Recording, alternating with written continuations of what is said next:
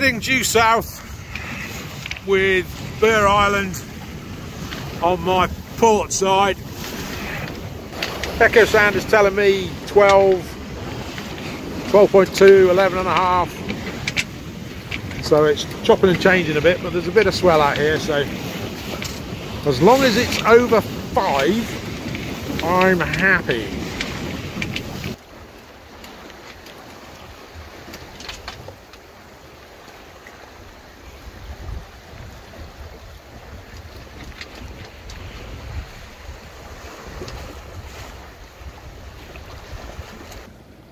It's going to be quite a fight back, so I'm not going to go all the way in, obviously, because it gets shallow and a bit rocky, and there are some swimming marks, so I can't go, not supposed to go in any further anyway. So I think we'll call that a success and start heading back out. Now I'm uh, beating against the wind. It has actually got a little bit chilly and because there's some spray about I'm gonna I've got my jacket on. So it looks like it's going to take me a long while to get back home I think. Oh well. I shall have my lunch on the go.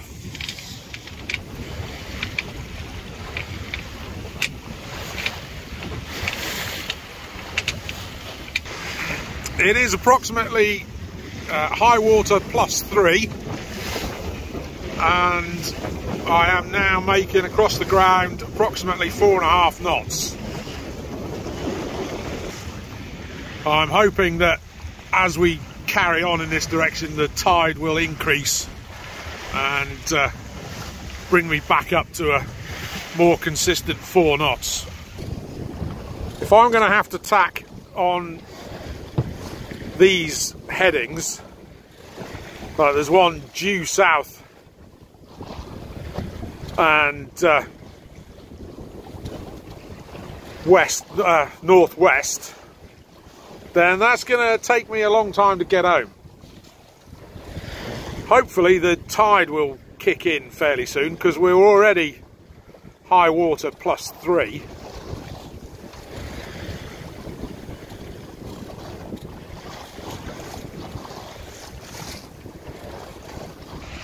Bottom speed's picked up a bit now, so we're now three and a half knots. And looks like the wind's starting to pick up as well. Perfect, that's what we want. Four and a half knots now. Looking at this chart, I think it might be a good idea to maybe tack and head into some deeper water. That might help the tidal stream pull me along. I'm now on a starboard tack heading for deeper water. And as long as my course made good is west of south uh, I'll be quite happy with that.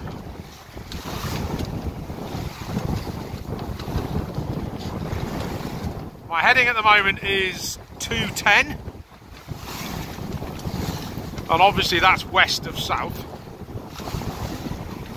but it's a close run thing with my course made good. So that's sort of telling me that either there's very little tide or the wind is balancing the tidal stream at the moment. Starting to see a few more lumps. Um, the water depth is now 32 metres. I've been on this tack for a little while now. So I think I'm probably getting into the tidal stream because it's going against the wind uh, which means that it's going to get a bit choppier. So we'll keep going this way for a little while, just a couple of minutes or so, and then we'll put in a tack and uh, see what the bottom speed's like on the other tack. Not a bad heading where we are at the moment. Uh, we're doing about average of four knots and uh, there's a bit of chop on obviously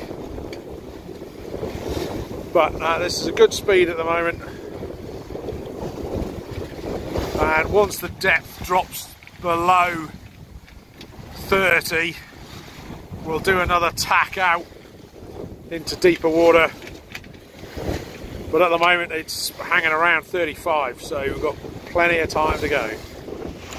We'll uh, carry on like this for a little while and my bottom speed is indeed up now at about four four and a half knots which is a lot better than uh, when I was previously on this tack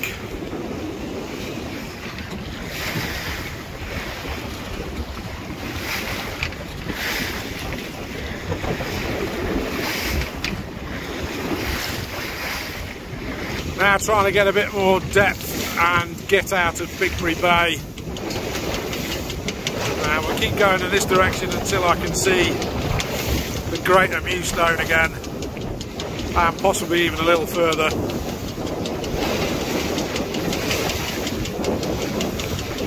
Currently tanking along at about four and a half, uh, almost five knots. And to tell you the truth, the wind chill is up there. It's feeling a little chilly. So the wind speed has picked up a bit. And I reckon another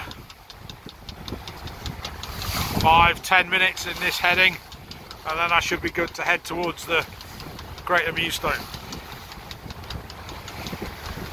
Averaging four and a half knots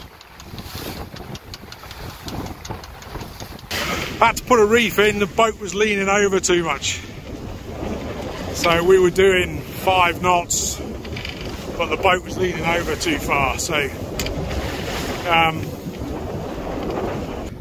while I put a reef in, I drifted a little bit too far north. So I'm going to have to probably put another tack in to clear uh, this headland and the Mewstone.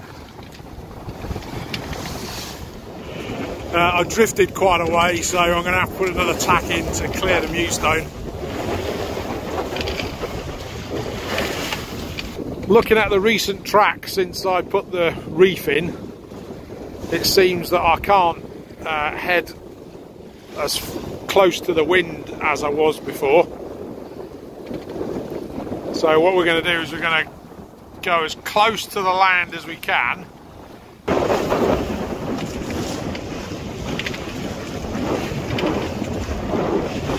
Coming up to Stoke Point.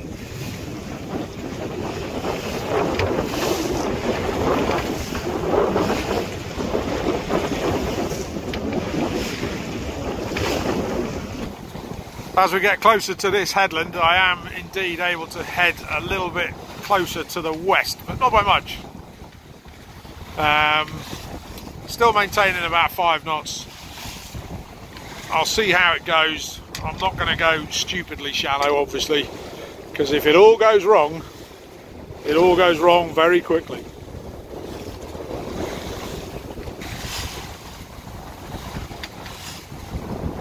I think we've got a bit more current here as well because my bottom speed's just shot up to 5.4. Okay, I shall wait until the depth gets to 20 metres, then I'll put a tack in. Okay, time for attack. So looking at my previous tack heading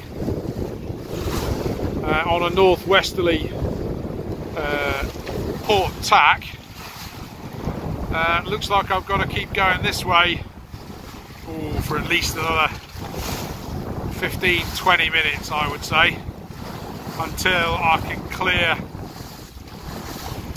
uh, Great Mewstone. No more risky shallow bits because my echo sound has just died which is not good. It's probably something to do with the battery and the solar charging so when I get back on the mooring uh, we'll have to investigate that, find out what's going on. Rather bizarrely, I feel a bit exposed without my echo sounder. Um, I mean, I know where the shallow spots are, and I'll stay well clear of them. But it does rather put a, a damper on things.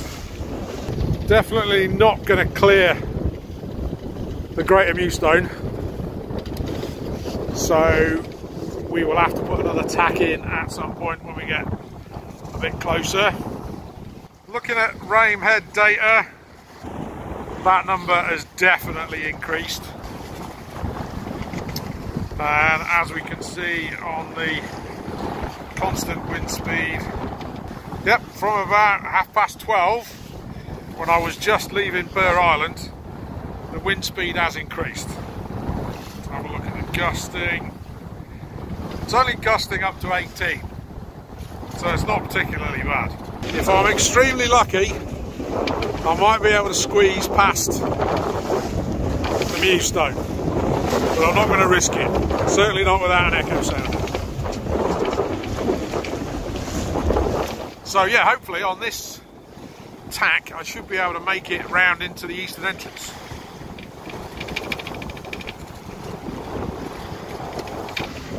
Starting to feel quite tired actually. It's all that thinking. Playing it extra safe and keeping it wide of any coast until I can go straight up into the eastern entrance. So it's been a fairly long day already. So I set off just after eight and it's now just after three. So that's seven hours right there. And it's going to be at least another hour before I get back to my mooring. This tidal stream arrow that's just behind me, that could explain why I've got high bottom speed. Handheld GPS telling me 5.6, 5.8, something like that. The wind has got rather squirrely around the eastern entrance, so it's now coming almost on me nose and it was coming from the west so it's now coming from west uh, north northwest possibly but the sea is still coming from behind. The chop is still coming from behind.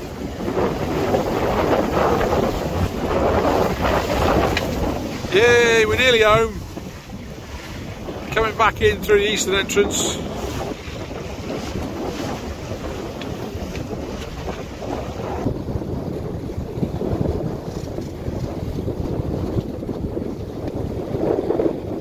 final leg.